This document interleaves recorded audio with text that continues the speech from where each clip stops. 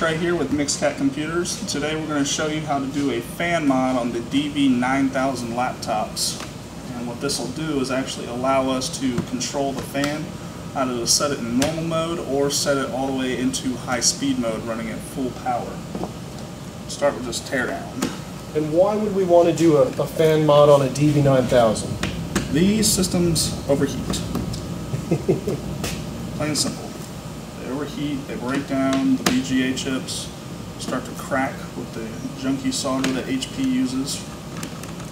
The European compliant standard that uses no lead. Even though since you know it's not a consumable product, it's not something we eat, but it's not allowed to have lead in it for some reason. And on these fan mods, we usually see anywhere from a 10 to a 20 degree uh, decrease in temperature. And the cooler they run, the longer these laptops last. And we got people shipping in from all over the country.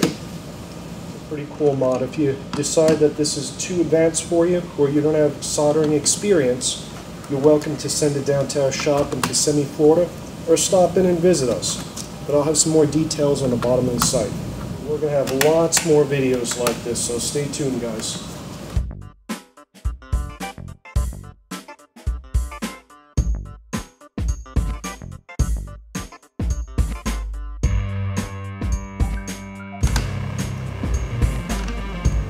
And for more details of what we do at the shop, go to mixcatcomputers.com.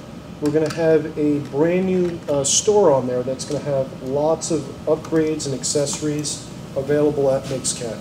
Of course, uh, reseller prices aren't up there yet, but we'll get them up there soon. Give us a call if you're a shop and you need us to help you with some repairs.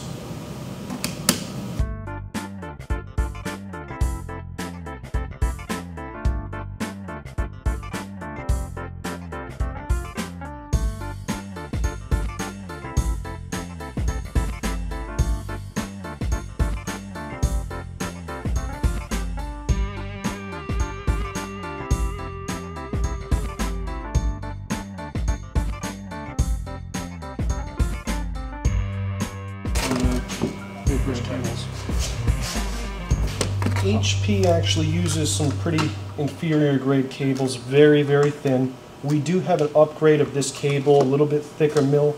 That way they hold up better. We have that available on our uh, website, mixcatcomputers.com. Now this is the wireless controller switchboard for the DV9000. What we're going to do is modify this and make it where this can control the fan. We're also going to disable the switch capability for the board so that way the wireless is constantly on. Here's an example of one of those cables, a little bit thicker.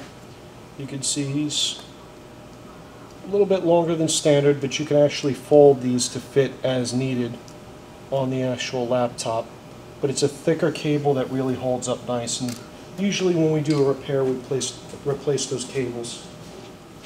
Now here we got the wireless switchboard out, we got our wire that we're going to be using, and what we're going to be doing is actually